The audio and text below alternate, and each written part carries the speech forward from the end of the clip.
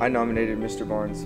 Mr. Barnes was like the kind of teacher that made me want to wake up every day and, and go to school. You know, he always brought that positive attitude that just made me want to learn and become a better person, you know, in the classroom and outside the classroom. And it's always about, you know, doing better than you did the last time and moving forward and keep going when you struggle and not letting it bring you down. You know, that really just motivated me to, you know, do the same thing and even like push my friends to do the same thing because you always want to do better than you did last time. And Mr. Barnes, thank you for making me a better person in the classroom, um, out in public, but even in the soccer field. You know, I just want to thank you for everything.